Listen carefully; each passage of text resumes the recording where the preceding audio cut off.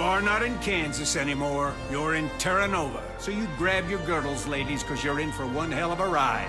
The Terra Nova Marathon, Sunday, July 7th, on Science. I'm sorry about that girdles comment. That was unnecessary.